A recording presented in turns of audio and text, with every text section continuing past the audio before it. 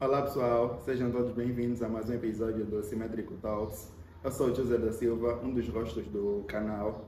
Hoje temos uma convidada muito, muito especial, que é a Silke Antônio, que é estudante de medicina pela Universidade Agostinho Neto, a presidente da livraria Livros São Portas, Associação. associação da Associação Livros São Portas, gestora de projetos e uma das jovens mais influentes do continente africano. É, dizem é, é um prazer ter-te aqui conosco é, para dizer que esse episódio é muito especial, não só por seres a primeira mulher que nós entrevistamos, Oh! mas também por seres uma inspiração. O Telmo falou-nos de- muito de ti e também eu fiz algumas pesquisas e realmente vi muita coisa, muita coisa boa. Queria agradecer Ah, por teres aceito o nosso convite. Eu que agradeço o convite. É, Realmente foi apenas assim de surpresa. Eu até já tive a comentar convosco, eu não gosto muito de falar. Mas eh, muito obrigada pelo convite, é uma honra estar aqui. É ainda mais por ser a primeira mulher aqui. Yeah. Então, acho que a pergunta para começarmos é quem é a Silk? Não faço ideia. não, mas eu acho que normalmente quando nós falamos sobre quem somos, acabamos falando muito mais sobre o que fazemos e não sobre quem somos. Eh, se formos falar especificamente o tipo de pessoa que eu acho que eu sou, eu acho que eu sou uma pessoa muito transparente, uma pessoa que luta muito pelos seus ideais, uma pessoa extremamente criativa, eu me considero muito criativa. Ah, e mais do que isso, acho que eu sou uma pessoa afável. Né? Sou sociável, ah, acho que me engajo em quase todos os meios e interajo muito bem com as pessoas. Também dá para ver pela biblioteca, ou pela biblioteca, livraria comunitária, tem um espaço realmente bonito e criativo. Então já, logo de cara, o pessoal já, que vem para aqui já dá por conta que não, aqui tem dedo de alguém criativo. Não, tem, tem vários dedos, na verdade, porque eu gosto sempre de referenciar que isso né, que está aqui não foi só feito pelas minhas mãos, mas por todas as pessoas que fazem parte da associação e estiveram a trabalhar intrinsecamente para a construção dessa biblioteca comunitária e principalmente a minha mãe, porque a minha mãe deu muitas ideias, muitas ideias para a biblioteca. Eh, Eu gostaria de saber o que é que vos levou a criarem essa biblioteca comunitária. Tipo, pensarem que não, eh, vamos criar só. Como é que foi o processo de criação? O que é que É. vos motivou a, A a- criar?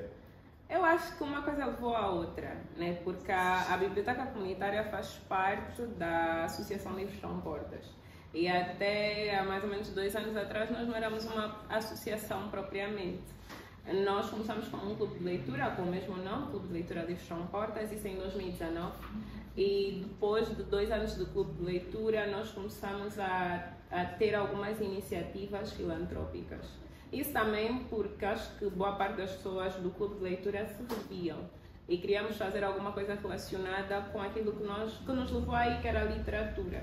Depois começamos a pesquisar um bocadinho mais sobre iniciativas aqui em Luanda, principalmente viradas à, à, à literatura, né? o que é que estava a ser feito e por aí afora.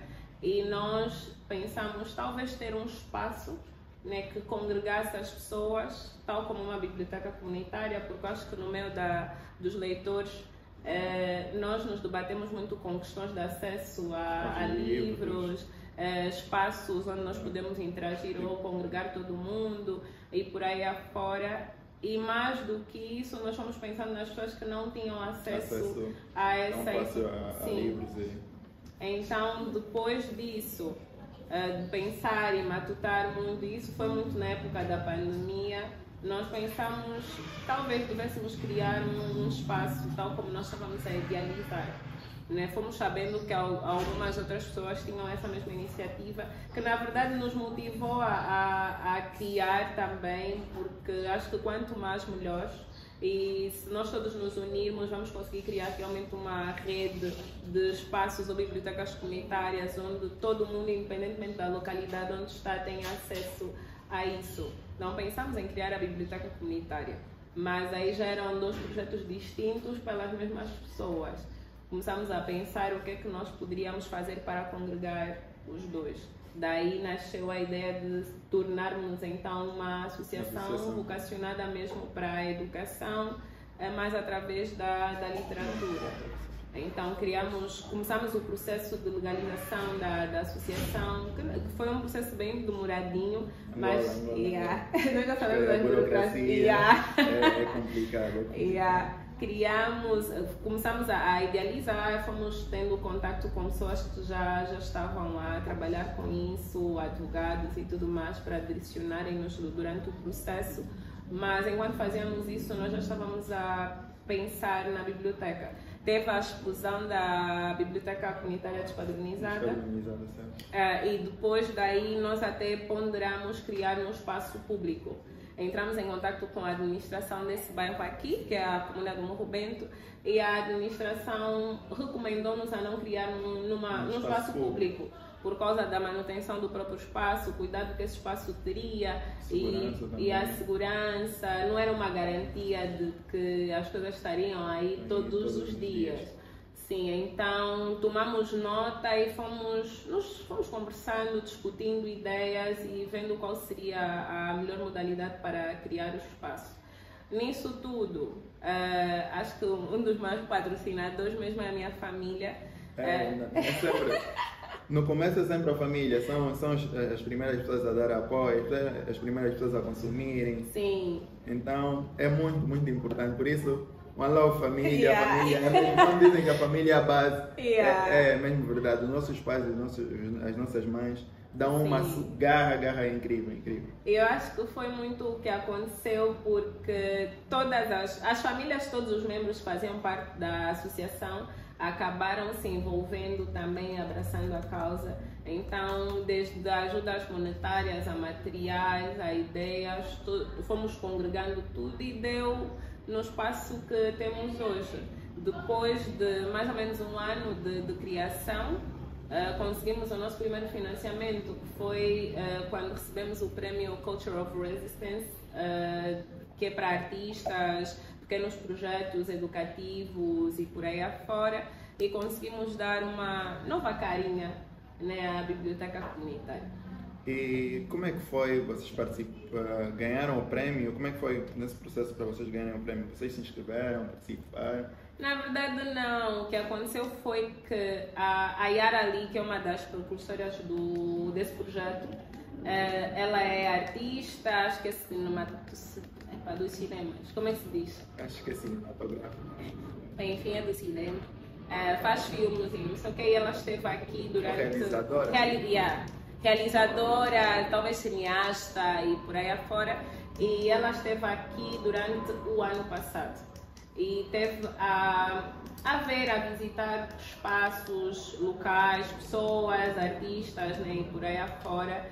E tal como nós, a Biblioteca Contra a Ignorância também foi vista por ela e ela decidiu ajudar né? Porque eu acho que esse é um prêmio de atribuições, porque não, em todas, pelo menos todas as pessoas que eu soube que receberam o prêmio não fizeram propriamente uma pré-inscrição, mas foi a visita dela nesses espaços, a conversa que, que teve com, com as pessoas que são eh, cofundadores ou os Os mentores mentores dos do- projetos.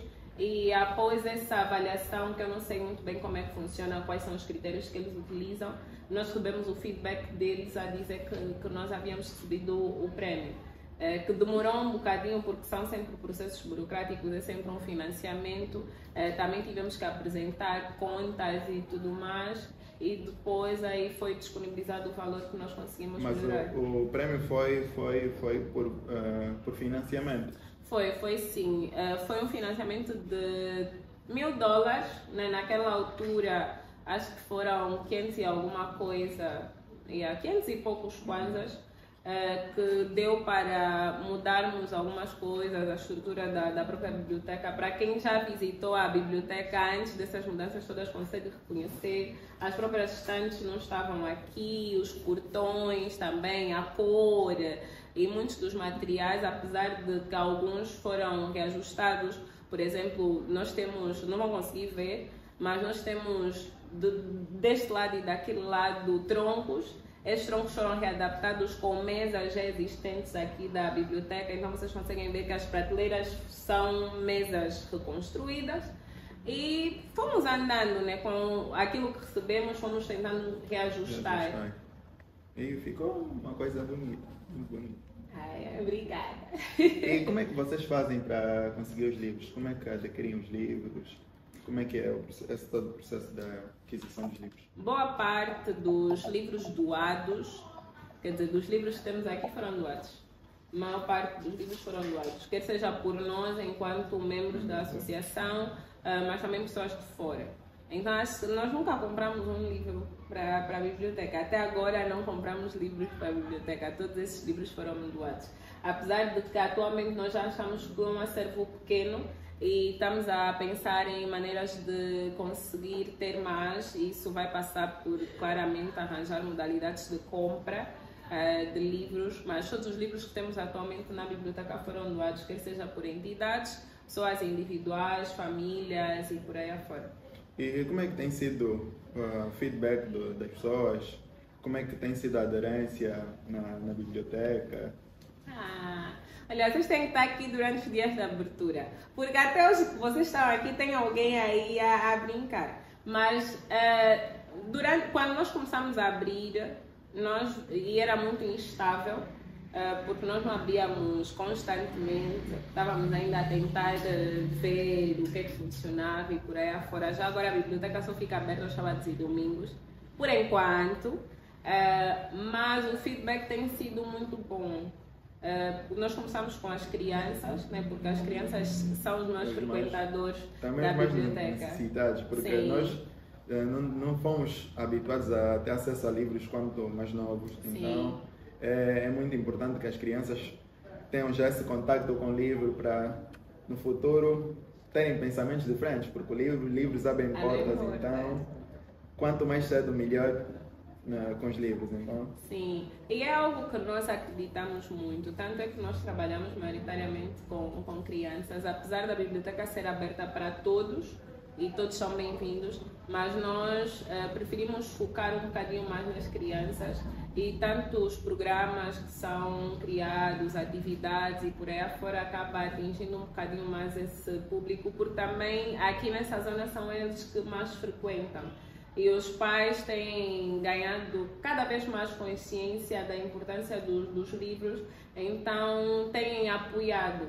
Eu acho que atualmente nós recebemos cerca de 30 a 40 crianças nos dias em que nós estamos abertos e é uma quantidade de crianças. Considerável, yeah. uma sala de aula. Yeah. Então, Imaginem o que você está aqui a trabalhar sozinho com 40, 40 crianças aqui. Se só uma já é um trabalhão.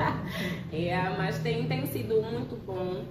Uh, as crianças nem, nem falo porque recebem as coisas com muito mais facilidade, envolvem-se muito e apesar de, de, ainda de termos a maioria das crianças dentro do sistema de ensino, aquelas que não estão, eh, nós vamos sempre tentando ajudar de, da forma como nós podemos, que seja pelo networking que temos e por aí afora e com iniciativas aqui dentro desse espaço Uh, os pais mais velhos, jovens do, do, do, próprio bairro já têm frequentado mais.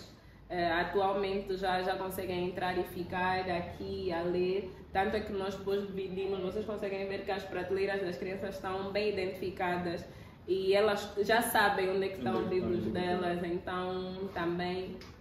Mas de forma geral, uh, o impacto tem, tem sido positivo. No ano passado nós conseguimos mensurar atividade propriamente contínua eh, de mais ou menos 100 crianças aqui na biblioteca. Esse ano acredito que se calhar deve ter eh, aumentado e muitas dessas 30, 40 crianças que vêm nos dias em que estamos abertos são crianças que vêm frequentemente, são assíduas mesmo. Então, uma outra que vem pela primeira vez, mas vem pela primeira vez e fica porque até os pais já se preocupam quando a biblioteca atrasa e há ou coisa assim parecida, por exemplo, no, no acho que há, há dois finais de semana nós tivemos uma mãe que estava a ligar para nós, eu, passei aqui às 9 horas, vocês não estão abertos, vão abrir hoje.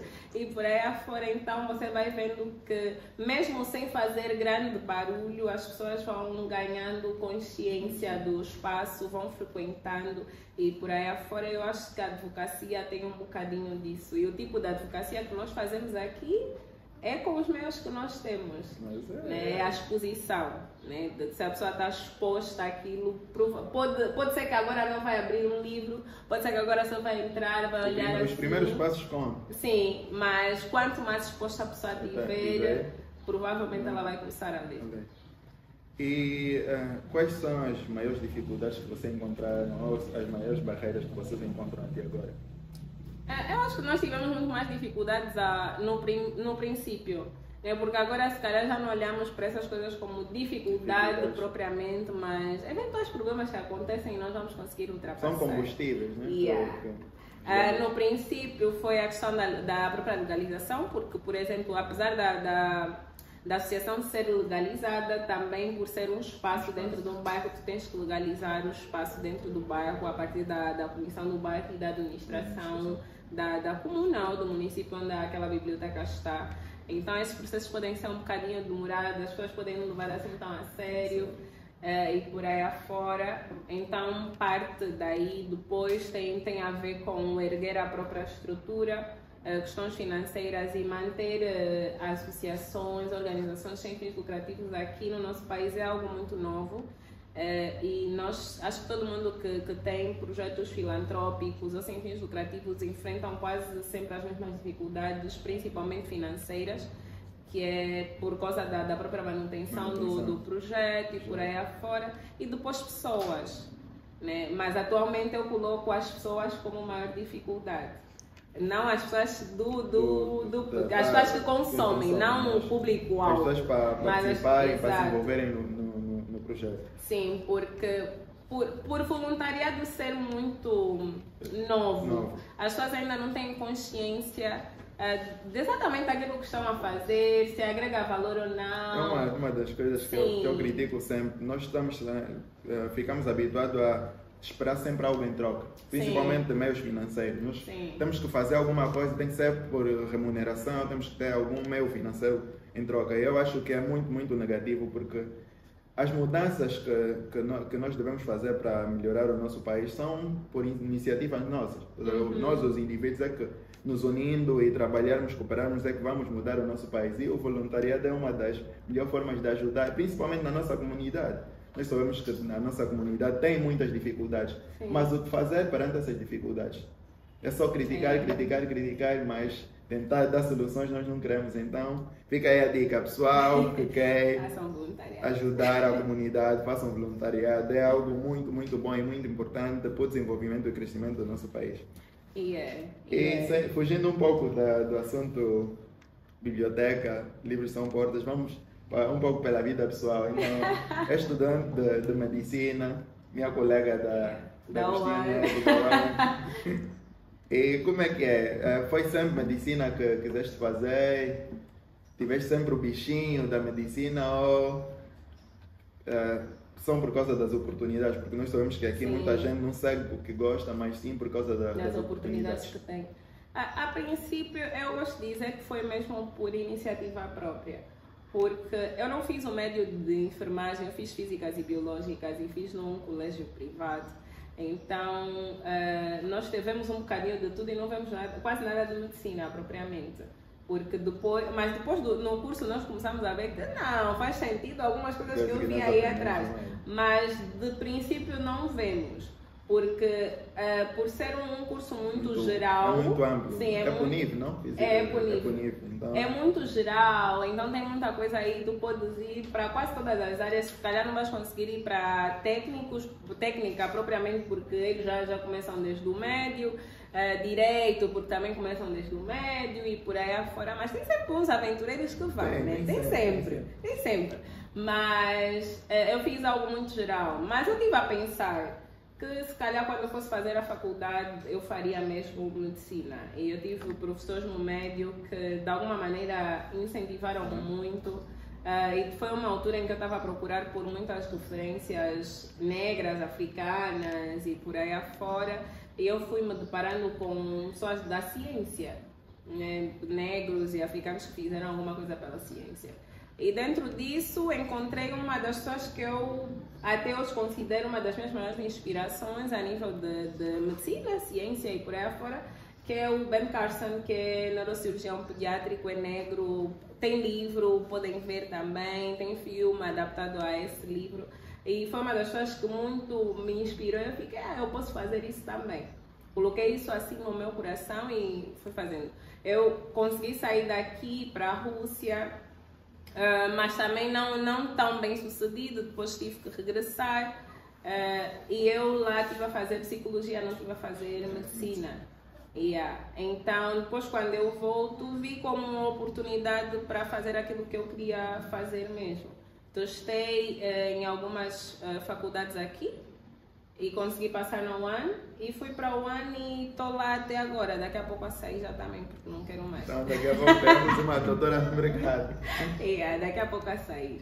Mas, mas, é, mas, é, mas é isso. Nós aqui temos ainda uh, muita falta de referências. Pessoas que nos inspiram e nos façam progredir e trilhar bons caminhos. Eu acho que a vossa iniciativa de criar esse espaço, tu enquanto pessoa, porque eu vi a tua bibliografia e achei incrível, incrível. Vamos falar ainda disso ao longo da, da conversa. Minha tem lá o quê? Tem, uh, eu queria te perguntar também como é que foi uh, ver o teu nome na lista das, dos 100 jovens mais influentes do continente africano. Tipo, o que é que, o que, é que sentiste ao ver o teu nome e o que é que essa exposição trouxe para ti, a nível pessoal e também profissional? Só uma produção não foi do continente, foi da lusofonia. Mas é. é, mas eu fiquei muito feliz. Foi algo que eu fiquei muito surpreendida, na verdade, porque aconteceu.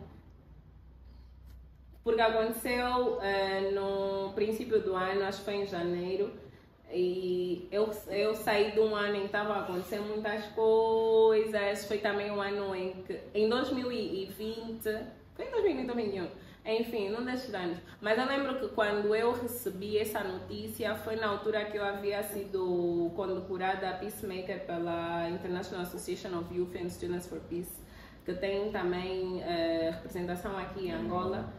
E havia Estava tava assim bem, bem quente, porque havia, havia participado de uma mesa, tinha pessoas de outros países a assistirem, não sei o quê. Então estava naquela euforia do estou a ser muito condecorada e recebi mais essa notícia, fiquei, ah, que isso. E, uh, mas foi, foi muito bom. Eu me senti abraçada e senti-me também vista. Uh, e acho que às vezes receber esse tipo de condecorações ou reconhecimento acaba dando um gás para o trabalho que nós estamos a fazer. Mas eu também gosto de, de pensar que ao receber isso é mais responsabilidade né? Quer dizer que as pessoas esperam que eu continue a fazer da mesma forma ou ainda mais. Então é uma faca, é uma faca de dois gumes. Né? Fiquei é... muito feliz, mas a pensar também, ok, agora tenho que fazer mais e por aí afora. É. Mas é algo que eu guardo até agora como um conhecimento, né? E é, é sempre um motor para continuar a fazer mais. É o dilema do. Qual é o tio do Amaré? Ah, que diz que grandes poderes vêm grandes responsabilidades. Yeah. Então, Yeah. Então, então é isso. E coisa, consoante a, a, a, aquilo que, que tu explicaste, como é, como é que aconteceu? Tu sejas nomeada para 100 jovens mais influentes, como é que se consegue isso? Tipo, as pessoas vão ficar curiosas. Você se inscreve, você uh, participa. Como é que é participar desses eventos? Como, como, como consegues participar desses eventos? É, na verdade, neste em particular, eu não participei de nada. Eu recebi uh, por e-mail a nomeação e depois foi anunciada para o público. Né? Disse, uh, eu lembro que o e-mail falava sobre, devido aos trabalhos que, que estavam a ser feitos né, por mim, na altura, tinha muito a ver com, com o facto de estar a com a associação, participação de, de, programas internacionais, organizações internacionais, alguns debates e por aí afora, eh, que estavam a ver isso tudo. E por causa desses trabalhos, eh, segundo os critérios que eles foram fazendo, eu me enquadrava naquilo que era a nomeação que foi feita. Dentro da, daquela nomeação, eu vi pessoas de várias áreas né? pessoas do desporto, da ciência, escritores, jornalistas e por aí afora. E eu, na verdade, senti-me muito, muito bem, muito bem. Mas dizer provavelmente que me inscrevi, não me inscrevi. Acho que todos os prémios que eu recebi até hoje Foram for- não foram inscrições. Eh, ainda esse ano eu fiz o. inscrevi-me para os prémios Tigra, mas não, não fui vencedora, fui somente nomeada. Mas todos os, todos os prémios que eu recebi foram só assim de coração, né? As pessoas acham que é fácil.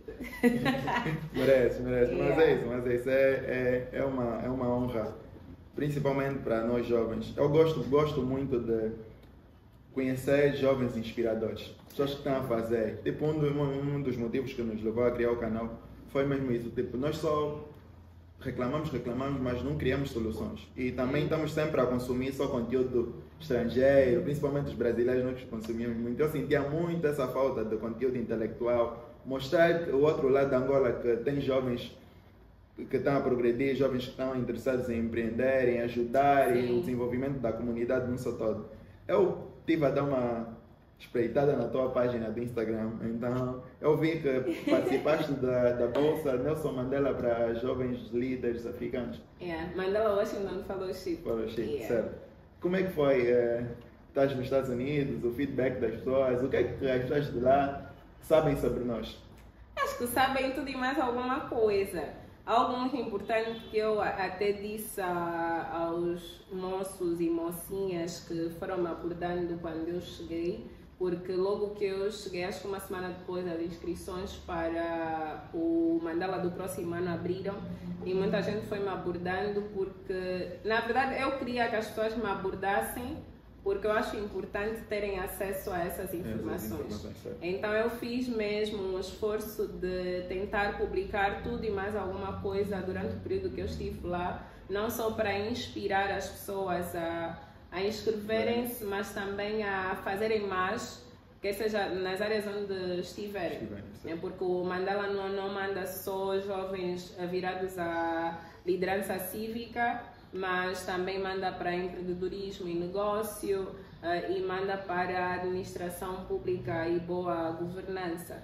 Então eu, eu quis dar eh, pelo menos uma overview de tudo que, que era para que as pessoas se inspirassem, mas também fizessem a aplicação, porque eu acho importante nós recebermos esse tipo de, de informação e conhecimento para podermos aplicar aqui e fazer melhor. Ehm, qual era a pergunta? Porque eu já esqueci. A pergunta era de o que é que eles lá eh, Sabem sobre nós. Porque É. nós temos essa curiosidade, mas será que mundo afora conhecem Angola? Conhecem os angolanos, conhecem o trabalho dos angolanos? O que é que eles pensam em relação a nós? Sim, olha. eh, tem, tem duas vertentes. Tem todos os países africanos, porque eu, como tu disseste, sou uma bolsa para jovens líderes africanos. Então tinha jovens, Várias tinha nacionalidades. várias nacionalidades do, do continente e por outro lado os americanos. Né? Eh, aqui dentro, digo dentro da África, Angola é conhecida pela má reputação que tem. Então, para nós, às vezes, quando vamos para esses espaços, eh, acabamos sendo embaixadores do nosso país, né? tentar passar não só a, a imagem real do que é, mas também da- das coisas boas que existem. Então, é, é muito importante cultura geral. É importante sabermos o que é que há aqui no país. É importante conhecermos o nosso país, não é só falar de música e comida, Dança, mas sim. como é que está a política, como é que está a sociedade, como é que está a economia. eh, e são coisas que te perguntam, porque tu vais encontrar pessoas de outras nacionalidades com outros backgrounds que também querem saber um bocadinho do teu país.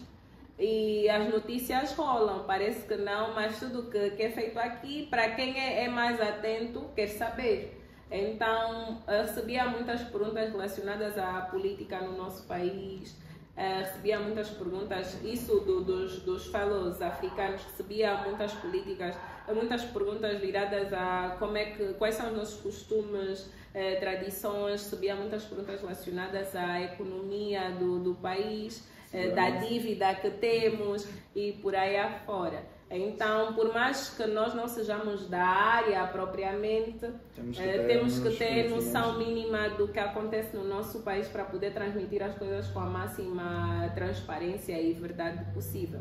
Então, eh, a- pelo menos as pessoas que estão que vivem aqui, que são africanos e estavam lá, uh, tinham uma percepção sobre Angola que é baseada naquilo que a mídia apresenta e nas coisas, na má reputação que nós temos a nível internacional. Eu acho que nós também devemos, uh, como agora estamos todos conectados através da, das tecnologias de informação, nas redes sociais, eu vejo muito, sou um dos críticos de muitos jovens que, quando vão em páginas de pessoas influentes, só tentam mostrar o lado errado da Angola. Eu, fico, eu só fico, muito, muito chateado com isso. Estão sempre, ah, aqui em Angola só tem fome, só tem isso, só não sei o quê. Então sempre a mostrar uma imagem errada da Angola. Claro que Angola tem dificuldades e tem os seus problemas, mas Angola não é só isso. Tem jovens como Sim. tu, como nós da Simétricos e outros aí fora, que estão a fazer coisas diferentes e, e que estão a fazer coisas significativas. Eu vejo muita gente só postar festa, vai fora, só quer dançar, fazer palhaçadas. Se bem que eu não condeno, né? Porque cada um é livre de fazer essas coisas, mas querendo ou não, nós quando vamos a um sítio, estamos sempre a levar a reputação do nosso Sim. país. Nós estamos a ser sempre embaixador do nosso país. Então, que tal nós passarmos, ao invés de estarmos sempre a reclamar nas redes sociais, passarmos a mostrar coisas boas que Angola tem? Angola tem lugares bonitos, pessoas Sim. bonitas, inteligentes, Sim. boas comidas. Então é muito importante nós mostrarmos uh, o bom lado da Angola. Eu sou, sou muito crítico. Eu queria te perguntar uh, quais são as pautas que tu defendes? Entrando um pouco aqui, um assunto mais mexido de políticas e tudo mais, quais são as pautas que a CILC defende?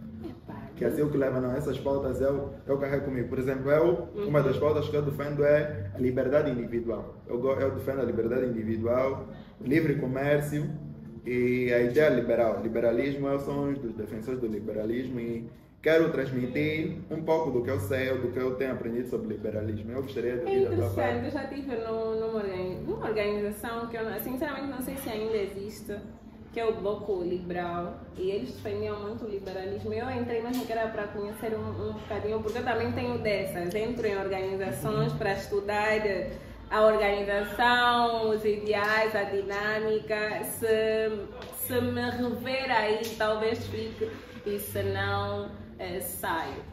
Mas eu acho que atualmente eu acabo advogando muito mais por educação para todos e uma educação de qualidade uh, saúde e bem-estar para todos por causa da, da minha área de, de formação. Uh, a questão da, da, da, liberdade para todos é relativa, então não vou dizer que eu defendo essa pauta. Eu faço parte de, de um coletivo que é o Anjão Feminista uh, e também é algo que eu tenho cada vez mais estudando e aprimorando e, e vendo algumas coisas e defendo senão não faria parte do, do coletivo. Eu acho que são, são as únicas pautas que eu saio assim à vista e digo sim, é isso que eu, que eu defendo. Uh, no entanto, enquanto jovens, eu acho que é importante nós conseguirmos navegar em não é navegar de entrar propriamente, mas navegar de conhecer um bocadinho sobre cada pauta. Não nos fecharmos, estamos Sim, sempre abertos a conhecermos um pouco e depois daí vamos tirar as nossas próprias ilações. De onde nos sentimos melhor ou aquilo em que nós acreditamos. Sim, exatamente por causa disso, porque às vezes as pessoas centram-se muito no, numa bolha né? Fico, eu acredito nisso e é isso que eu acredito e nada mais. Não, não estão dispostos, Sim, não a, dispostos a, ouvir a, o contrário, a, a entender mesmo. o outro lado. Sim, e também, como não estão dispostos, falam sem conhecimento sobre as causas que não defendem. Então, eu acho importante navegarmos um bocadinho e conhecermos um bocadinho sobre tudo, até para conseguirmos fomentar debates realmente inclusivos e de respeito, eh, mas também para não levarmos as coisas como se fossem verdades absolutas, absolutas. e ponto final. É porque, na verdade, acho que todo mundo tem a sua verdade absoluta, mas é, nada é verdade. Verdades absolutas são, são erros, principalmente na questão ideológica. É muito importante nós termos cuidado, não encararmos tudo como verdade, porque por vezes algo que nós encaramos por verdade, quando no fundo aquilo não é verdade e nós acabamos por cair, perder pessoas, magoar pessoas e nos afundar na, na tal dita bolha, então é muito, muito perigoso irmos por esse, por esse lado. Tocaste no assunto que, que me chamou bastante a atenção, que é feminismo. É, sabia. Epá, eu, num dia que essa pergunta não me podia escapar. Uh, tu achas que o feminismo é algo que realmente beneficia as mulheres, principalmente na, na vertente angolana africana, visto que o feminismo é um, um, um movimento mais ocidental, começou mais na, na parte ocidental e está a emigrar para cá. Eu gostaria de saber qual é a tua visão. Será que realmente o feminismo é algo benéfico para as mulheres? Eu acredito que sim, porque eh, disseste né, que começou uh, no Ocidente, as primeiras pessoas que começaram a, levantar essa pauta uh, estavam lá, uh, mas atualmente no continente já existem muitos fóruns onde mulheres africanas discutem feminismo. Tanto é, até se soubesse a trazer uma pequena, um pequeno manual que nós temos com algumas diretrizes daquilo que, que é considerado o feminismo africano. Eh, porque entende-se que muitas dessas pautas, eh, por exemplo, liberalismo e por aí afora, acabam sendo adaptadas um bocadinho ao contexto, contexto. onde estão. E a questão do, do, feminismo aqui em Angola também acaba por passar por eh, um determinado filtro. Existem coisas que o movimento em si aborda, né, pautas dentro do, do próprio feminismo quando estamos a falar da vertente ocidental, que ele aborda que nós aqui não, não abordamos propriamente. Não abordamos e não, não vamos não, como não pauta. Não se identificam né? com, com aquilo só porque aqui não tem tanta aceitação.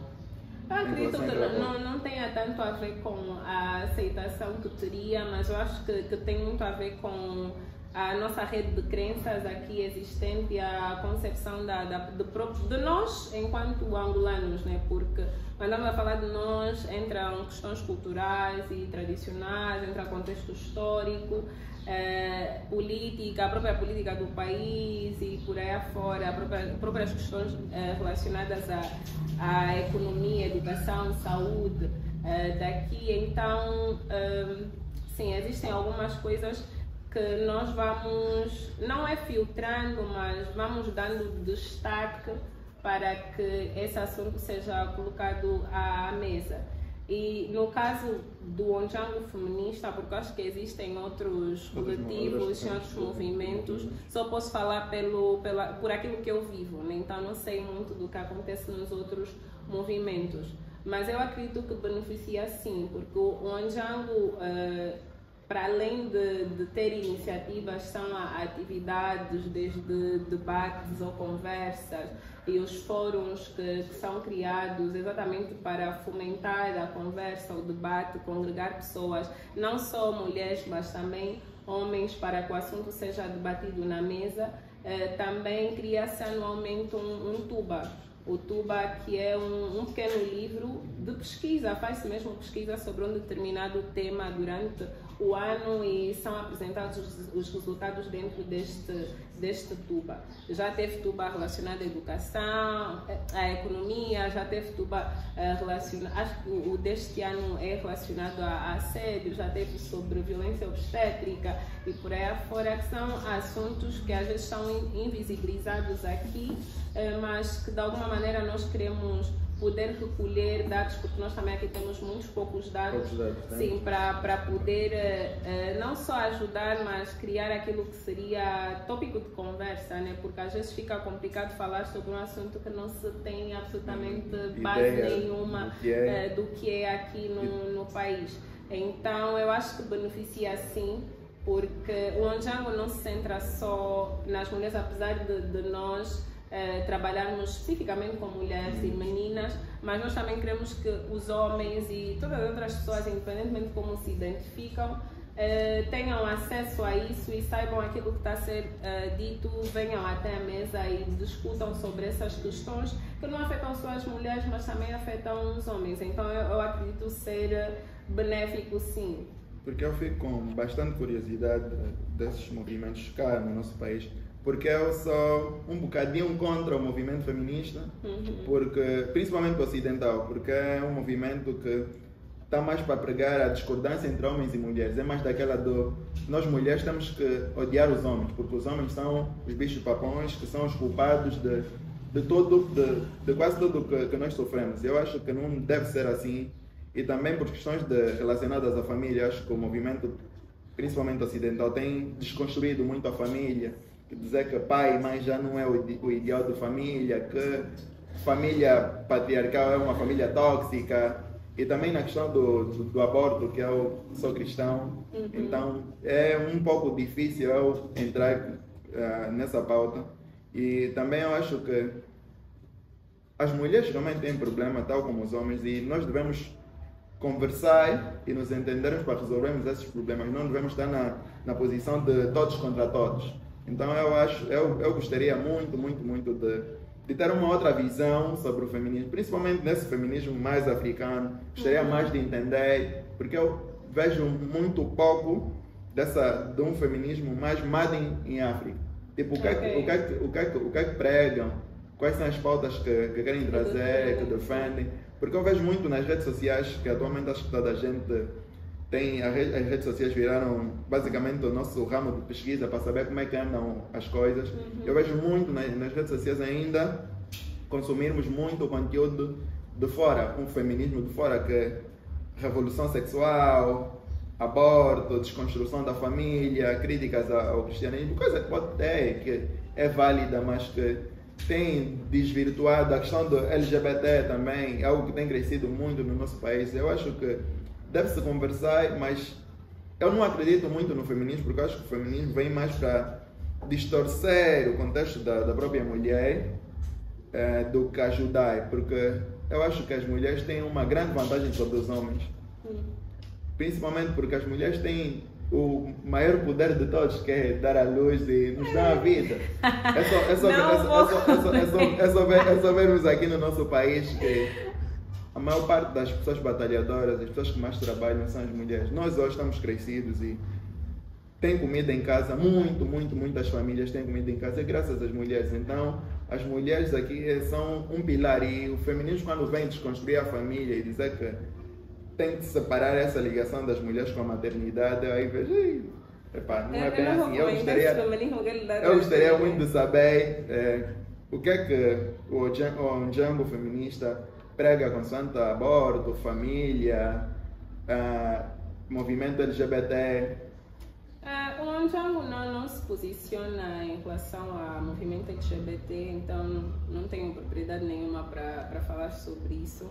Eu acho que isso também é uma questão individual né, das próprias pessoas. Por exemplo, eu como estudante de medicina e como pessoa não tenho qualquer uh, problema em lidar com pessoas da comunidade. Uh, não tenho qualquer tipo de julgamento também. Inclusive convivo e já convivi com, com pessoas que sejam da, da comunidade. E eu acho que o que acontece atualmente é que cada um, ehm, talvez cada crença que as pessoas têm acabam divergindo muito umas com as outras e acaba existindo um certo desrespeito contra as coisas que as pessoas acreditam. E, por exemplo, levantaste a questão do, do cristianismo, eu vejo que a comunidade LGBT e, e os cristãos acabam e, divergindo um bocadinho. Eu acho que isso é uma questão que vocês, enquanto indivíduos ou enquanto comunidade, precisam uh, entrar em algum tipo todos, de consenso. Todos, todos querem uh, uh, impor a sua, a sua vontade a ser ideologia, ninguém está disposto a, a conversar. E eu acho que isso são, são grupos que não vão deixar de existir. Bem como todos os outros grupos foram criados, não vão deixar, ou movimentos foram criados, não vão deixar de existir porque um ou outro não acredita na, nas pautas que o outro movimento defende. Eu acho que atualmente o que deve existir é respeito pelas crenças, pelas crenças sim, das outras pessoas. Eu, eu só acho que devemos respeitar, as pessoas são livres de fazerem as suas escolhas e nós devemos respeitar as escolhas dos outros, mas nós só não devemos é ter que esforçar a nossa ideia para os outros, incutir a nossa ideia a todo custo os outros. Então, e ver também o ponto de vista dos outros é muito importante, saber conversar e estarmos abertos a entender o ponto de vista dos outros. Não, eles pensam assim porque o que lhes leva a pensar isso, o que é que eles enfrentam. Sim. E como nós podemos ajudar, porque o nosso, acho que o objetivo de todos é tornar o mundo melhor, não é isso? Exato. Tornar a sociedade melhor. Então, se nós começarmos mais, debatermos mais, é, trocas de ideias, sem faltas de respeito, sem um se sentir superior ao outro, uns se sentirem donos da razão. Então é muito, muito importante nós estarmos a, a termos essas conversas, esses debates, é, é, importante. Sim, por isso é, que, por isso é que quando começamos nós estávamos a falar sobre o conseguir navegar sobre essas pautas e movimentos existentes para conseguirmos perceber o que realmente são antes de qualquer tipo de julgamento.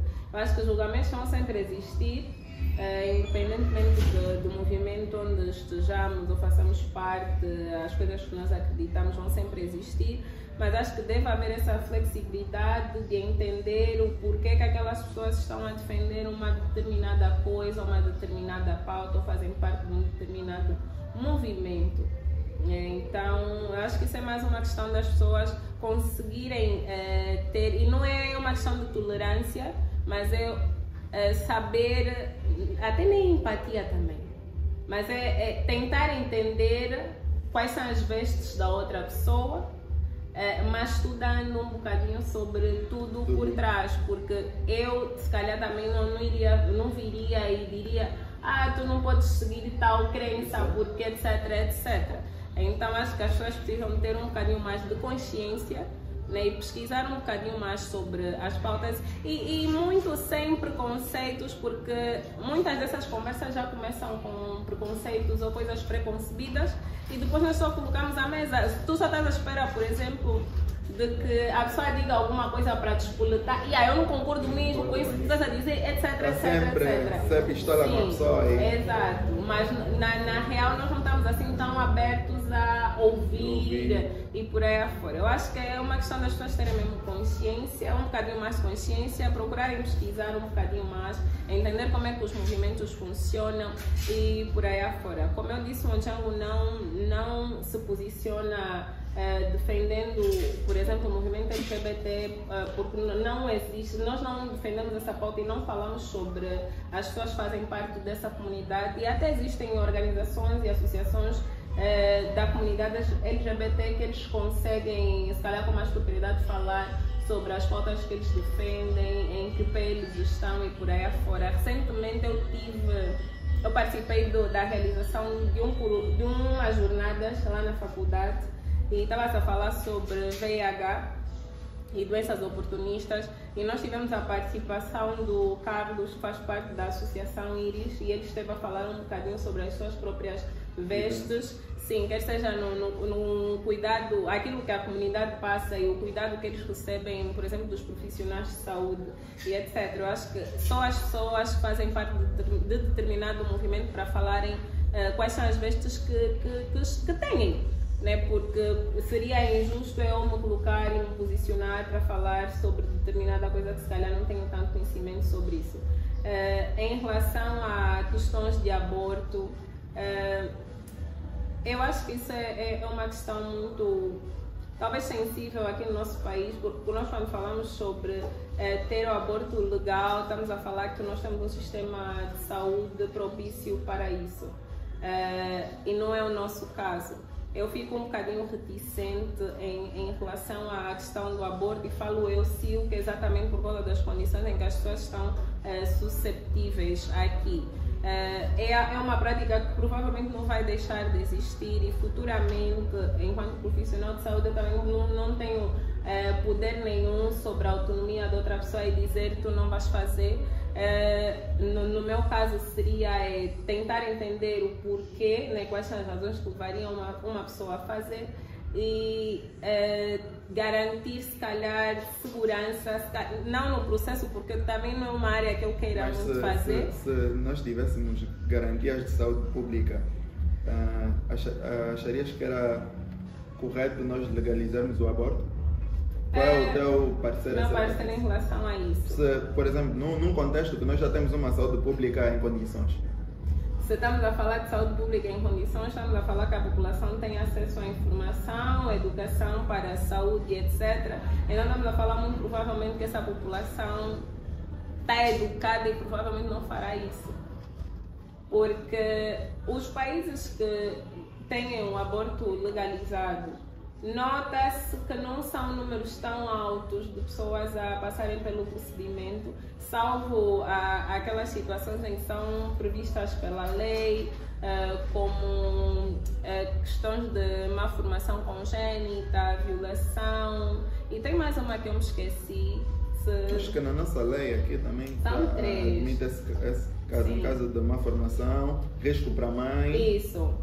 Então, salvo essas questões, uh, eu, Silke, não me, não me, não ia me impor em relação à legalização do, do aborto. Porque, como eu disse, é uma questão de. Mesmo que eu me imponha. Sim, mesmo que eu me imponha, isso não é garantia de que as pessoas não farão. É mais fácil garantir que farão em segurança do que privar as pessoas, porque isso não existe. Elas vão continuar a fazer. Então, se, se nós temos essa estrutura toda montada e a pessoa tem educação uh, para a saúde e entende os riscos que isso pode acarretar, muito provavelmente se calhar não fará, porque entende quais são os riscos que lhe colocam, né? Uh, se ela, porventura, ou fizer, né? ou tentar, talvez, pensar em fazer. Porque às vezes o que acontece é as pessoas encontram-se numa situação muito aflita né? se calhar não querem ter uh, filhos ou uh, talvez não é a pessoa certa ou uh, se for menor tem a questão dos encarregados e não sei o que, encontra-se numa situação da aflição e acaba recorrendo a esses meios que também não são propícios para tal. Mas a pessoa desconhece os riscos que tem de fazer o, o ato. É, é um e só, é um, só vai, né? Só vai. É um ponto de vista muito, muito, muito. Sim, porque eu, eu acho que às vezes as pessoas, porque se nós temos, por exemplo, aquela coisa do nós temos os nossos próprios valores, né, que são inegociáveis, e esses valores acabam sendo travões para determinadas coisas. Né? Se, eu, se eu me considero uma pessoa honesta e tenho honestidade como valor, eu muito provavelmente não vou aceitar me colocar em ou está exposta a uma outra situação que eu acho que seja desonesta.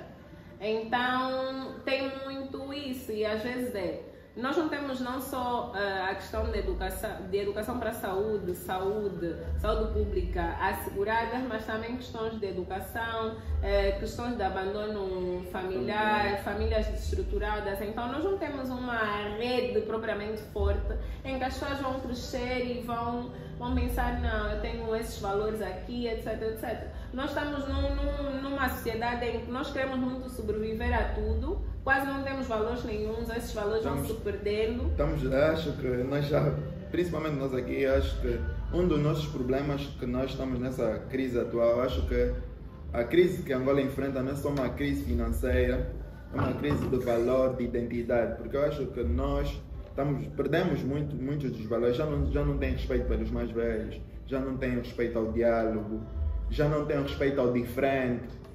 Tipo, eu, eu tenho, ultimamente tenho me envolvido em alguns debates e vejo sempre pessoas a culparem, olha, não, o problema disso é o governo, o problema disso é o governo. Claro, o governo tem culpa em certos aspectos que lhe cabem, uhum. mas outros aspectos nós também é que temos culpa. Por exemplo, o, o bom dia da minha vizinha, quem dá não é o governo, quem dá sou eu. O tratar com decência a tia que nos vende uma paracuca, quem faz Sim. não é o governo. Quem faz somos nós. Ao tratar em condições uma zungueira, ao falar em condições com o cobrador, ou o cobrador em falar com o lotador, com a zungueira, é nós como comunidade. Por isso é que eu prego muito pela comunidade. Tipo, a vossa iniciativa eu gosto muito, muito, muito de iniciativas desse gênero. Porque eu acho que em vez de estarmos no mimimi, nós estamos a fazer algo em prol da nossa comunidade, em prol daquilo que nós acreditamos. Nós sabemos da dificuldade sabemos do, do, do, dos problemas, mas mesmo assim nós estamos dispostos a dar cara pela nossa comunidade e lutar por aquilo que nós acreditamos ser algo benéfico para o nosso país. Então Sim. é muito, muito importante. Eu acho que o pensamento deve ser esse. Né? Porque existem coisas que com o andar das coisas não vão abrandar. Né? Mas nós temos que arranjar uh, talvez algum meio termo para que salvaguardemos algumas coisas. Isso tem muito a ver, por exemplo, a nossa própria construção do mundo tem muito a ver não só com a nossa base familiar, mas essa questão da, da comunidade, essa questão cultural ou tradicional, o contexto do país e por aí afora. Nós vamos, vamos escola, enfim, os meios onde nós passamos e nós vamos construindo aquilo que são a, a, os nossos valores, a, enfim, as nossas as coisinhas que, que vão moldando aquilo que é a nossa personalidade. E nem toda a gente tem isso. Então eu acho que nós às vezes julgamos tanto as pessoas, mas esquecemos que determinadas coisas já não, já não, é, já não são como eram. Né? E, e, muitas vezes, por exemplo, a forma às vezes como nos vestimos, a forma como tu disseste, tratamos os mais velhos, eh, como tratamos qualquer pessoa, um guarda, enfim, essas coisas, como bem disseste, não é uma coisa que o governo tem que fazer. É uma coisa que nós, nós temos que fazer, fazer. mas isso tudo tem, tem muito a ver com a nossa construção enquanto pessoas e por aí afora. E, e se nós não fazemos, provavelmente as pessoas que têm acesso a nós também não fazem. Uh, os nossos futuros filhos também não, faz, não farão e por aí afora. Então, antes de qualquer coisa, existem valores e crenças que nós precisamos rever um bocadinho, quer seja enquanto jovens, eh, mas também pensando que seremos pais de alguém eh, e também cuidaremos dos nossos pais, por exemplo, e por aí afora. Se nós, se nós tivermos o, o senso de comunidade, de que não estamos só aqui no mundo para mim e tal, mas estamos para todo mundo, nós vamos se calhar conseguir construir construir talvez não, né? Porque já estamos bem a. Melhorar, não é? Sim, mas vamos conseguir melhorar de alguma maneira. Podemos só alcançar uma pessoa que é mais importante, porque essa pessoa vai alcançar outra e assim sucessivamente. É, nós devemos é deixar um legado. Sim. Termos a noção que nós não vamos, enquanto tivermos vida, nessa vida não vamos conseguir fazer tudo e alcançar tudo, mas deixar um legado para que os outros possam dar continuidade naquilo que nós estávamos a dar o começo. Então é muito, muito importante nós fazermos a nossa parte Sim. e pararmos de reclamar. Temos muitos jovens é. a reclamar. Eu acho que tu és o exemplo, eu, tem outros jovens que são exemplo de superação, dedicação, sacrifício e que realmente com, com, essas, com essas coisas a, as coisas vão à frente. Sim. E é muito, muito importante nós termos a noção disso.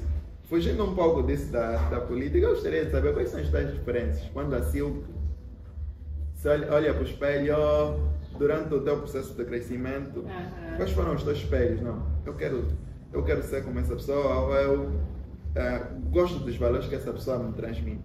É. Eu, eu acho que não tenho, talvez uma referência que, que eu diria, quero ser como essa pessoa. É, primeiro é mesmo a minha mãe, porque eu acho que para quem me acompanha há muito tempo, se calhar eu não posso estar nas redes sociais, mas muito provavelmente já deve ter visto a minha mãe em algum sítio. É, porque eu acho que eu cresci com, com bases muito sólidas é, para poder me posicionar aqui no, no mundo. Então, questões como honestidade e transparência eu aprendi em casa. É, solidariedade, empatia por outras pessoas eu aprendi em casa. Então, com certeza, minha mãe seria uma dessas primeiras pessoas, se não a primeira pessoa.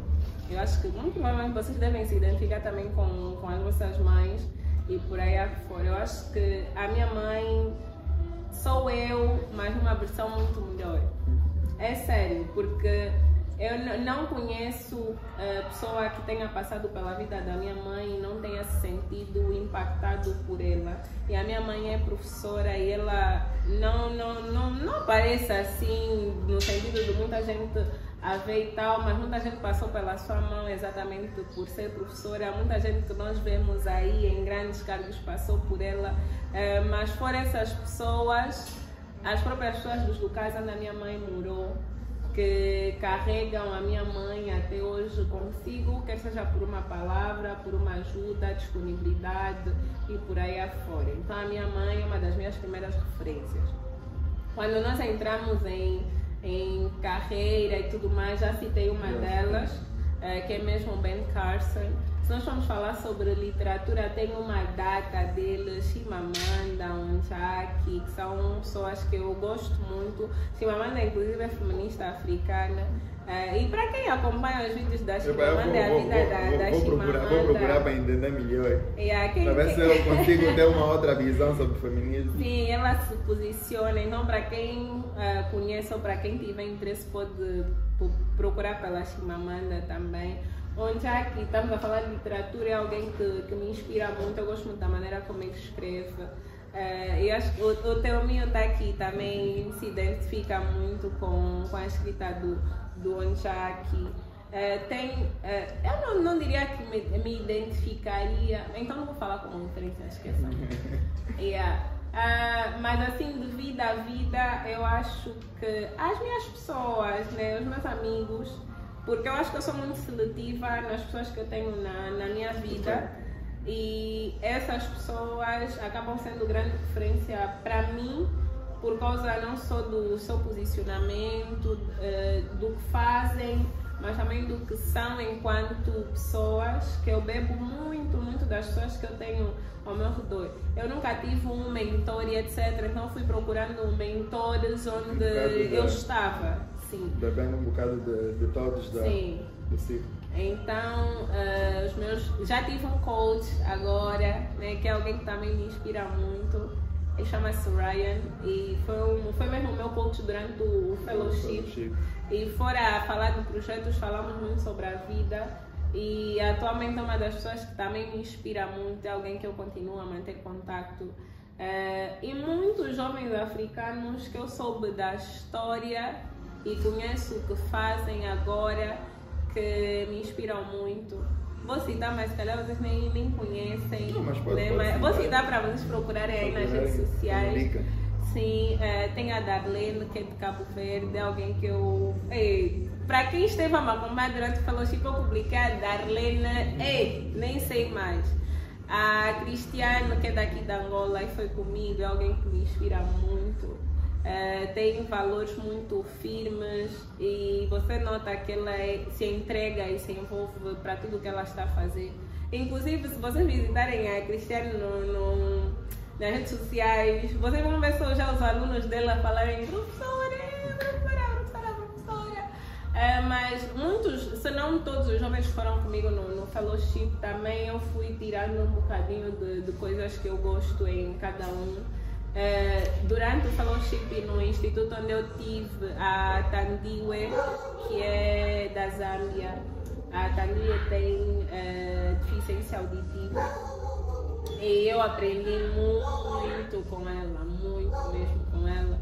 Uh, e são, são, são, são coisas que às vezes, principalmente trabalhando com, com crianças, e literatura e educação, nós não, não reparamos muito. Eu aprendi muito que inclusão, o que nós fazemos aqui não é inclusão, porque inclusão seria, por exemplo, crianças que têm algum tipo de deficiência conseguirem estar num espaço como esse e usufruir dos, das mesmas coisas que crianças que não têm deficiência nenhuma usufruem. E às vezes, quando criamos projetos em nossa, nós não pensamos nessa parte Uh, então é alguém que me inspira muito e eu guardo a Tandiwe. Uh, mas enfim, tem muita gente, tem muita gente. Tem, tem muita gente em, em coisinhas. Eu acho que o, o, algo que nós temos que levar em conta é alguns filtros quando nós conhecemos as pessoas porque acho que nós não vamos gostar de uma pessoa a 100%, nós não vamos, mesmo as pessoas que nós nos inspiramos e não sei o quê, nós não vamos gostar a 100%, não vamos, gostar, não vamos defender tudo aquilo que aquela, aquela pessoa defende, etc. E mesmo que conheçamos a pessoa assim, de tu para tu, é necessário existir filtros para que nós não percamos a admiração que temos por aquela pessoa. Porque é tal como eu, né? Tem pessoas que se calhar gostam de mim numa parte e outra não, não gostam e está tudo bem Uh, e é importante nós conseguirmos fazer esse filtro, então, yeah. Não, nós temos de perceber que as pessoas são, são imperfeitas, têm os seus erros, os seus defeitos, yeah. mas saber conviver e saber filtrar as boas coisas das pessoas, porque nós somos humanos, estamos suscetíveis a vários erros e vamos aprender com eles, então é muito importante para a pessoa aí em casa, cercam-se de pessoas que te inspiram, de pessoas que você admira. Se tu andas com pessoas que tu não admiras, ah, deixa de andar com aquelas pessoas. Yeah. Deixa passar a andar com pessoas que tu admiras, porque essas pessoas vão te agregar muita coisa na tua vida e tu vais te inspirar muito nessas pessoas. Sim, como jovens, principalmente angolanos, é, lusofonia e etc., nós não temos muitas diferenças. Normalmente as nossas diferenças são sempre de fora. É algo que eu gostei muito quando estavas a falar sobre termos jovens aqui que, que fazem alguma coisa e por aí afora tem pessoas incríveis a fazerem coisas, coisas incríveis, incríveis, que nós incríveis. às vezes nem sequer sabemos e são ótimas pessoas para que nós nos sintamos inspirados para fazer coisas também ou para darmos o gás necessário a essas pessoas para que elas continuem a fazer as coisas que elas fazem. Então, uh, yeah. Tem, tem nós, muito, nós, muitos amigos nós não, nós, não, nós não precisamos de ter muito para começar a fazer. Nós só precisamos de ter força de vontade, persistência, agarra naquilo que nós estamos a fazer, que aos poucos vão surgindo pessoas no nosso caminho Sim. que vão nos ajudar a atingir esses objetivos que nós queremos. Então fica aí a dica. Tocaste no assunto de, voltando até a literatura, uh, o que é que pensas sobre a literatura angolana? Qual é o estado da literatura angolana para ti? Visto que tem surgido muitos escritores novos, muitos livros novos, que uma coisa que eu fico muito feliz, se bem que querendo ou não vai como é uma coisa nova, a qualidade não vai ser tanta, mas já é um bom começo. Termos jovens a lançarem livros, a se falar mais de lançamentos, editoras novas a surgir. Então, o que é que achas com relação à literatura angolana, o estado da literatura angolana? Eu acho que é uma literatura em construção, né? Uh, nós saímos de uma altura em que tínhamos muitos escritores e escritores que nós hoje consideramos como referência, clássicos, por aí afora, isso também por conta do, do contexto e, usa, e a utilização da, da escrita para uh, manifestar e tudo mais. Então, nós estamos numa época em que tinha muito, muito de literatura aqui no país e para depois o desmantelar de, disso e agora nós enquanto jovens estamos a tentar eh, construir alguma coisa ou reconstruir aquilo que, que foi deixado. Então eu acho que nós estamos em construção.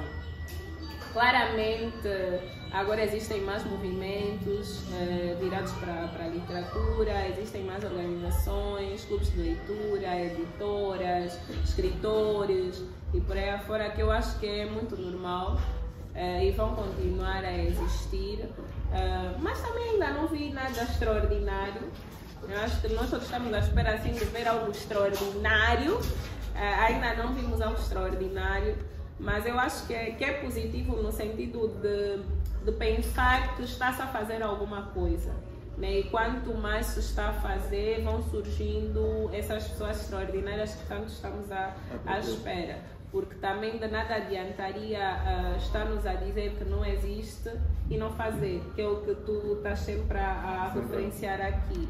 Né? Também não é fazer de qualquer jeito, sim, mas é fazer com os meios que nós temos atualmente, com as ferramentas que temos e por aí fora, que com o tempo as coisas vão melhorando. Uh, conselho seria mesmo, se calhar, terem um bocadinho mais de paciência com vocês mesmos, uh, trabalharem na, naquilo que são as vossas referências, para aqueles que são escritores, trabalharem nas vossas referências, o tipo de escritores que vocês querem ser porque nós, enquanto leitores, também esperamos encontrar escritores que nos vislumbrem, que nós ficamos, yeah, eu li essa pessoa aí.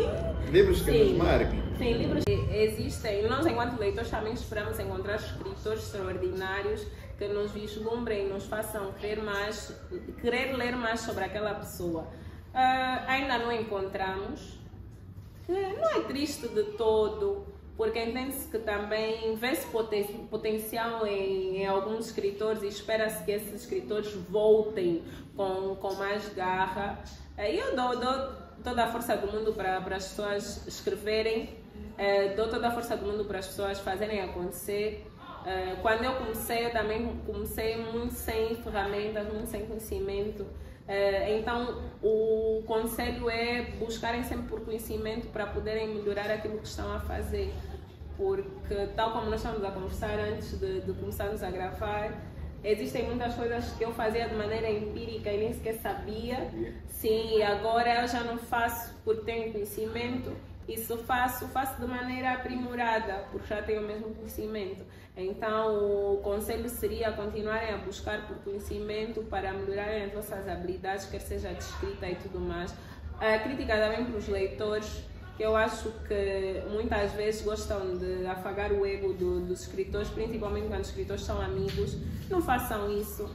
Sejam transparentes, o mais, transparente o mais transparentes possível, eh, porque assim não estarão a ajudar o escritor a crescer porque estamos sempre a dizer, não, tu estás a escrever, está fixe, e não sei o quê. Então, até nós, enquanto leitores, também precisamos de nos melhorar enquanto leitores. Claro que às vezes vemos, ah, a literatura é por prazer, não sei o quê, não sei o quê, mas o conteúdo que nós lemos fala muito sobre as pessoas que nós somos e aquilo que nós também uh, falamos, o feedback que nós damos, também fala muito sobre aquilo que nós somos. Porque se nós não somos honestos o suficiente para dizer a um amigo que escreve, que ele escreve bem ou escreve mal, que ele precisa melhorar aqui ou ali, então alguma coisa de errado não está certa. Então também deixo esse conselho para os leitores para que se aprimorem, né? principalmente para aqueles que criam conteúdos literários, eh, que são resenhistas, eh, criadores de conteúdo, influenciadores literários e por aí afora, que estudem um bocadinho mais, porque se nós estamos a criar conteúdo ou se nós estamos a nos posicionar em relação a alguma coisa, entende-se que nós somos autoridade sobre aquilo que estamos a fazer. E se nos consideramos autoridade e as pessoas uh, nos acham autoridade, significa que nós precisamos cada vez mais aprimorar aquilo que nós estamos a, a passar às pessoas. Que é algo que eu converso muito com, com as pessoas do, do meu meio, alguns que, que acompanham mesmo os escritores angolanos, outros nem por isso, mas eu acho que é importante nós conseguirmos fazer essas reflexões para podermos crescer nesse mercado. É, porque se, se tudo está bom o tempo inteiro, não estamos a fazer nada e o mercado não vai crescer, o mesmo com as editoras. É, para melhorarem aquilo que, que mandam para o mercado, eu acho que nem todo livro também é para, para mandar e eu acho que as editoras, muito melhor do que eu, porque eu não sou editora, não sou revisora, conseguem fazer essa análise do que está pronto para ir para o mercado e o que não está pronto para ir para o mercado está a fazer por, porque precisam ter caixa e tudo Sim. Mais. Então, eu acho que também é, é importante, uh, talvez se inspirarem naquelas que são editoras maiores, porque se nós começarmos agora por fazer uma determinada coisa, por queremos ter uh, dinheiro para fazer coisas melhores, por exemplo, eu se tenho contato com aquela editora desde cedo, não vou acreditar, não vou credibilizar a editora por causa do, do que eu já vi. É, mas, claro, entendemos que as coisas vão melhorando é, conforme o tempo e a, e a qualidade da, da, das obras que são é, publicadas também é, melhoram. Mas acho que quando nós nos afirmamos como editora é porque temos conhecimento sobre aquilo que nós estamos a, a fazer. Então, acho que seria de bom grado né, termos atenção aos editores, revisores, donos de editora, etc., terem atenção em relação a isso para leitores comuns que não fazem parte desse meio e sei lá o quê, leiam bem só. Acho que é. Umas dicas, Sim, leiam, leiam, leiam bem, inspirem-se em pessoas. Eu acho que, fora as referências que nós temos aqui, uh, nós podemos sempre ler uh, uh, livros de outras nacionalidades e algo que eu às vezes sinto que, enquanto leitores, também temos muitas reticências em ler clássicos não gostamos de ler clássicos e etc. Eu acho que também foi nos incutido que os clássicos são difíceis de ler. Uma difíceis coisa que não, e chatos. E chatos. Uma coisa que não é verdade. Você quando lê um clássico é uma maravilha. Você sai de lá um engrandece a alma. Você sai de Sim. lá uma pessoa melhor. Então é muito, muito importante buscar os clássicos. Também para entender como é que as Isso. coisas foram evoluindo de, em diversas áreas. Então é muito, muito importante Sim, eu acho que é importante mesmo por causa de, dessa componente do entender de onde saímos e para onde vamos e etc. E se calhar vamos conseguir falar um bocadinho mais com propriedade porque lemos um autor de, de sei lá quantos anos atrás que fez X e tal e agora notamos que se calhar a literatura não está assim, mas, mas cada época tem tem as suas características, as coisas vão mudando aqui e ali. É, mas nós podemos sempre fazer melhor. É, eu gosto de, de, pensar que tudo aquilo que nós nos predispusemos a fazer, nós podemos fazer bem e melhor. Então, se nós nos predispusemos a ler, então vamos ler, vamos procurar por ler coisas de qualidade, etc. Se nós nos posicionamos, é, não que essa coisa do, da literatura, a qualidade também depende muito de cada pessoa, é, então fica a critério de, de cada pessoa, né, de cada um que está aí. Uh, e o mesmo com, com os outros, né? Se formos fazer uma coisa, por mais pequena que seja, vamos fazer essa coisa bem. A dica é, não se prendam só naquilo que, que vocês gostam. Podem começar a mergulhar em outros assuntos.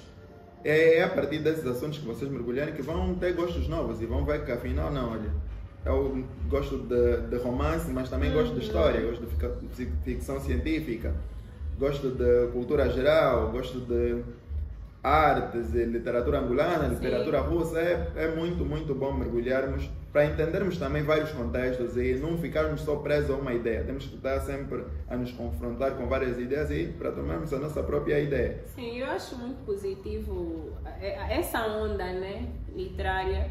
E, na verdade, tem, tem uma onda em quase todas as áreas, né? porque eu ainda estive a conversar recentemente com, com o Dário, que é o atual coordenador do programa Manda Wakutanga na associação, inclusive da, da biblioteca e não sei o quê.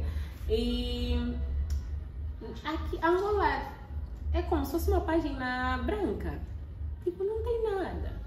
Tem alguma coisa, mas digo na, na espaço, perspectiva... Há espaço para fazermos muita, muita coisa, não precisamos Isso. nos prender. Nós ainda somos um, uma terra por explorar. Sim, é mesmo nessa perspectiva, porque nós temos tudo e mais alguma coisa por fazer aqui, porque toda ideia que nós formos trazer aqui, por mais inovadora ou não que seja, é novo.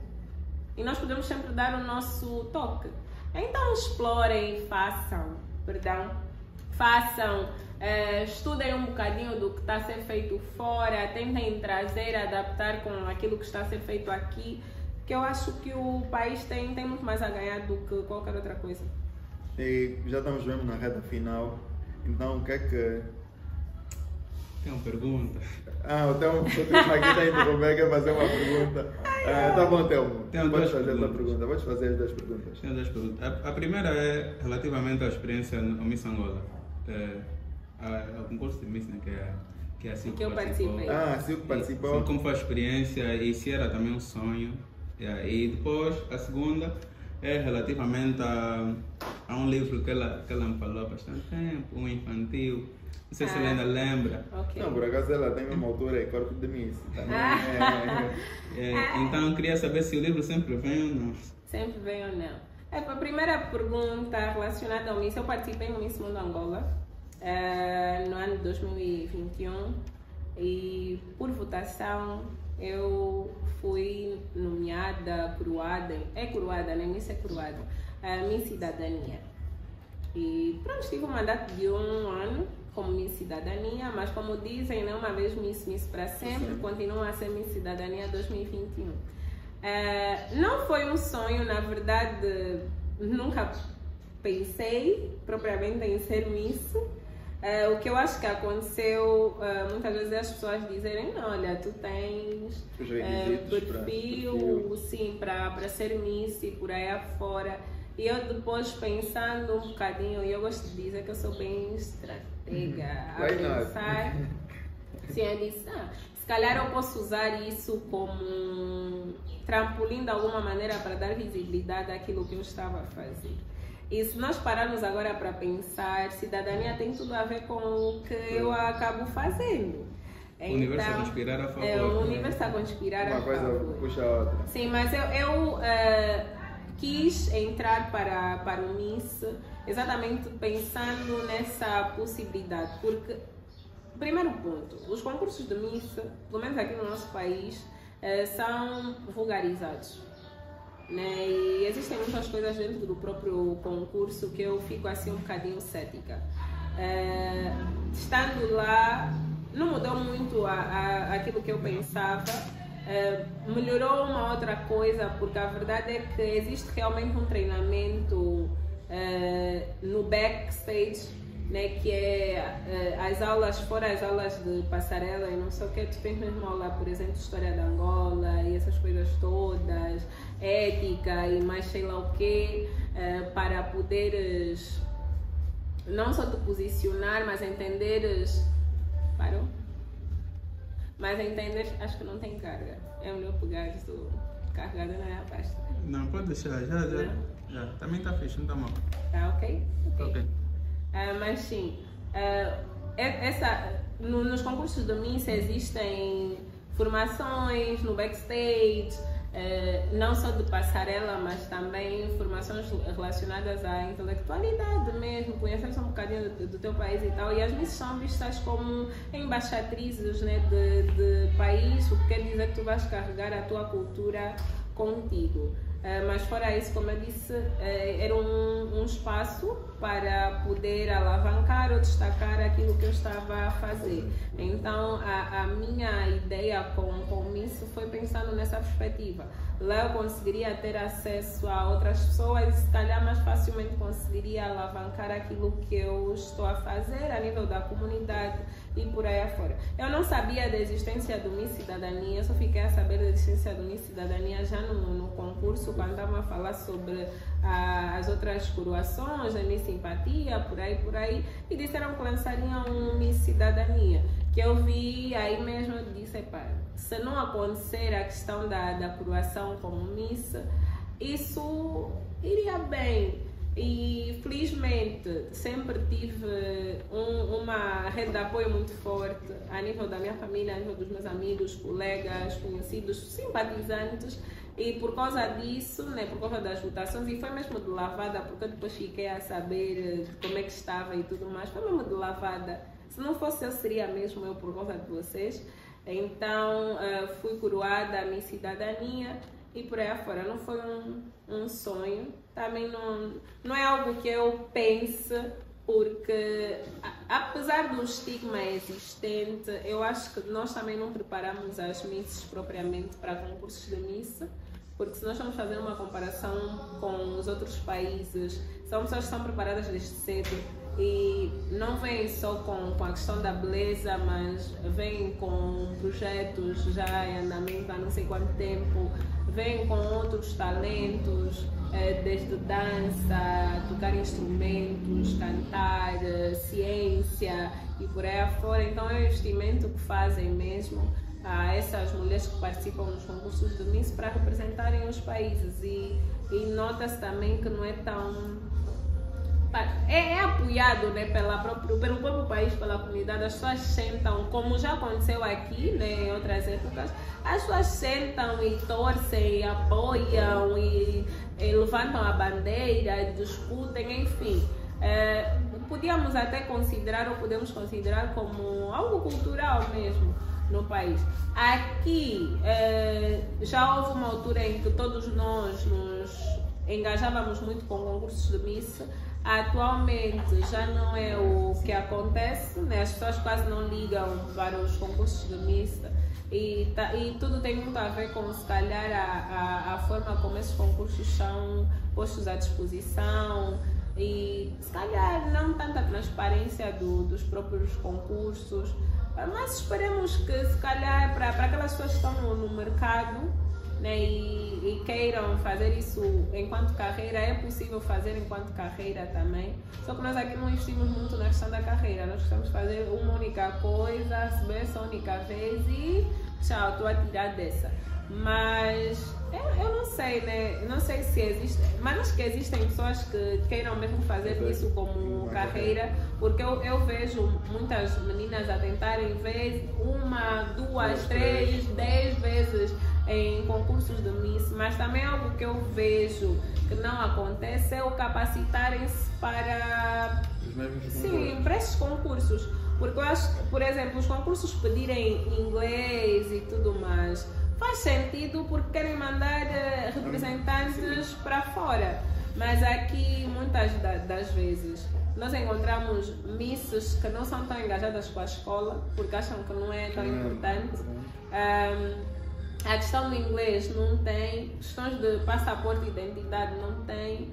Então, e outras questões, engajamento com a tua própria comunidade e não sei o quê, porque fora essa questão de ser cidadania, quando nós falamos de, de MINS, nós estamos a falar de alguém que a comunidade gosta e abraça. Uma pessoa afável, uma pessoa que engaja, que tem autoridade. que tem autoridade. E as missas, eh, uma missa, se aparecer a querer fazer um projeto eh, social, coisa assim parecida, é muito provável que organizações e instituições apoiarão essa missa a fazer esses eh, projetos e tudo mais. Então é uma plataforma que pode ser muito bem usada, mas eu sinto que não é. Então, foi mais ou menos nessa perspectiva. Em relação ao livro infantil, não é algo que eu descartei, eh, mas depois tive que priorizar outras coisas e uma dessas coisas tinha a ver com a própria faculdade e tinha a ver com a associação. né, as questões administrativas e burocráticas da gestão de uma associação é uma coisa do outro mundo, ocupa muito, muito tempo, muito tempo mesmo.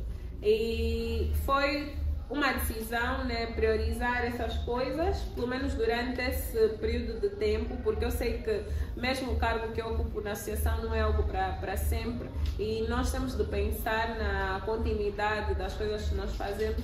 Então eu espero que em breve alguém assuma a posição em que eu estou na associação e eu possa não só criar novos projetos, mas também conseguir focar-me em coisas que eu deixei engavetadas por causa uh, da associação e por causa da, da minha formação acadêmica. Então, passa um bocadinho por isso. Não esqueci o livro. Por acaso, uh, crianças é, é, é, é, algo que eu tenho pensado muito, não só a, a, a, nível da própria organização e do trabalho que temos feito, mas até a nível profissional. Uh, então, estamos, a, estamos aí a ver. Não, não está esquecido, só está engavetado. É, já estamos mesmo prestes a terminar. Antes, mas antes de terminarmos, gostaria que deixasse uma mensagem para os jovens, a inspirar é, pessoas que querem fazer a diferença, pessoas que, que queiram contribuir ao máximo para o desenvolvimento da comunidade. É, eu não sei. Então, uma filosofia aqui. Não, eu, eu não, um, eu... Um, um, um coachismo. É um coach. E aproveita a deixar também que a biblioteca precisa para pessoas que vêm. Ainda vou começar pelas necessidades né, da biblioteca. Da biblioteca. Uh, nós aqui precisamos de tudo e mais alguma coisa, né? livros, né? Porque, livros, é mas eu acho que livros, livros é, é o primordial. Nós precisamos claramente aumentar o nosso acervo literário. Então, e também tendo em conta, se calhar, os meios das pessoas, que é algo muito mais fácil de aceder porque se calhar temos sempre um livro em casa que ninguém está a ler e que já está aí parado há muito tempo. Então faço um apelo para que vocês doem os vossos livros. Pode até não ser para essa biblioteca, mas doem para, para as bibliotecas existentes. Se calhar tu tens uma biblioteca no teu bairro que também esteja a precisar de livros, mas precisamos de livros, melhorar o nosso acervo literário constantemente precisamos de materiais uh, de desenho e por aí fora, porque as crianças aqui da biblioteca desenham bastante. Então, desde folha a quatro, folhas a quatro, uh, cores, desde, uh, a, desde cores a lápis ou outro tipo de cores, também precisamos muito. Puzzles, né, os famosos quebra-cabeças, que é o que as crianças também usam. Jogos de tabuleiro, que é algo que nós só, há um mês ou dois meses é que descobrimos que as crianças também estão mesmo aí. Sim, então jogos de tabuleiro como damas e xadrez, é, também. E qualquer outro uh, jogo lúdico que vocês acham que pode ser doado aqui para a biblioteca.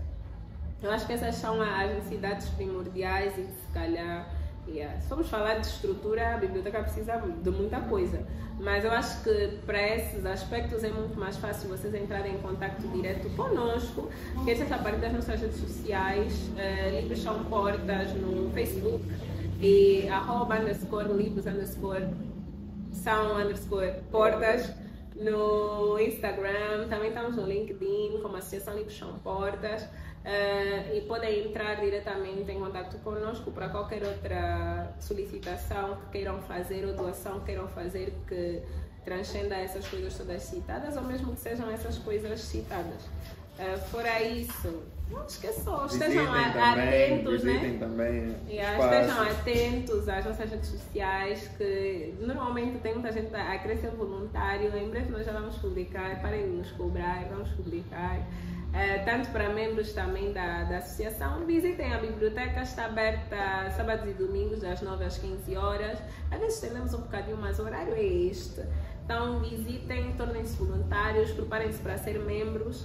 Conheçam um bocadinho da associação e trabalho que nós estamos vindo a, a desenvolver e outros projetinhos nós vamos criando também. Tem muita coisa boa por vir, então estejam só atentos àquilo que nós estamos a fazer.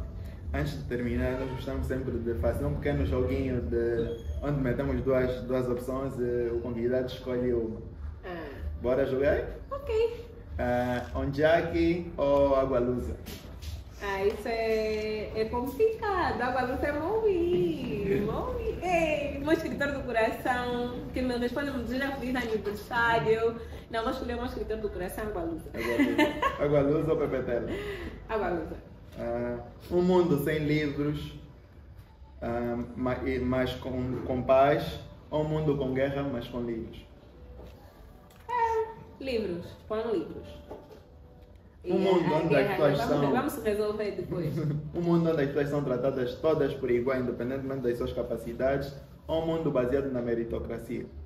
Ah, não sei se eu acredito muito na meritocracia, prova mas. da viva da meritocracia.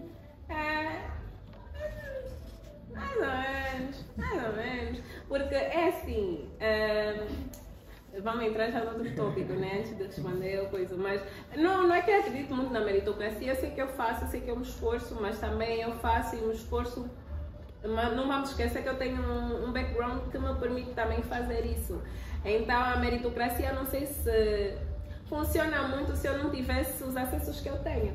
Será que eu ia conseguir criar ou me, me encontrar com pessoas e Mas fazer aquilo que nós acessos é um fazemos? mérito.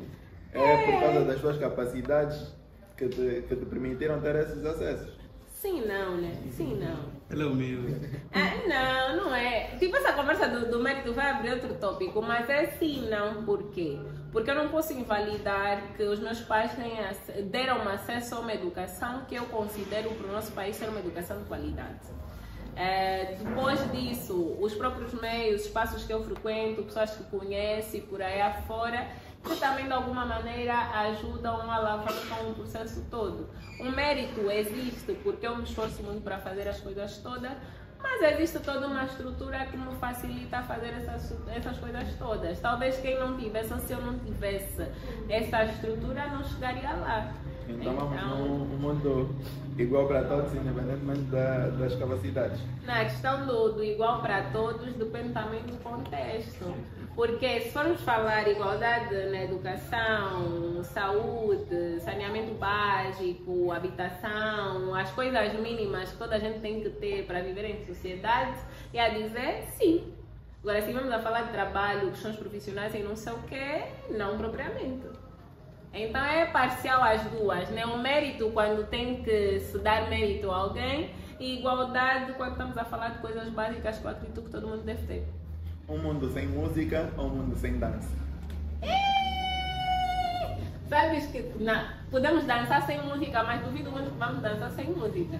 Porque vamos criar Eu acho música. que a, que, a, que a dança vem, a música vem primeiro que a dança. É sim.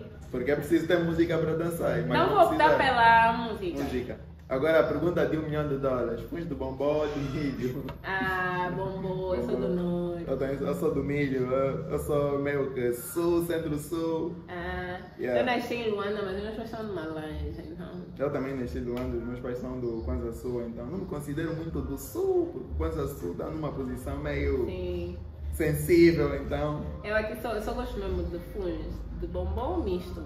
Milho não é a minha cara de todos. Sil, gostaria de te agradecer, foi muito, muito bom termos essa conversa. Foi um prazer, eu não te conhecia e agora que te conheço, só aprecio mais o teu trabalho. Eu já te seguia antes no Instagram, não sei o que é que aconteceu, deixei de seguir, voltei a te seguir agora É. novamente, mas eu tenho visto o que tens feito e tenho apreciado bastante. Eu acho que nós precisamos de jovens inspiradores assim como tu, que possam fazer coisas que engrandeçam a nossa comunidade. Então, obrigado à comunidade simétrico. E dizer que para não esquecerem de seguir eh, o Instagram da Sim. Silk, Facebook, subscreverem o canal, porem like no- nos vídeos, ativarem o sininho, Partilha. partilharem com, com mais pessoas, porque eu sei que vai agregar valor, não só na vossa vida, mas também das pessoas que vocês partilharem. Eu sou o José da Silva, esse é mais um episódio do canal Simétricos. O, o canal tem sempre tem o Pires e o Bruder Talks, que são os outros rostos do canal, mas é isso, estamos juntos e obrigado.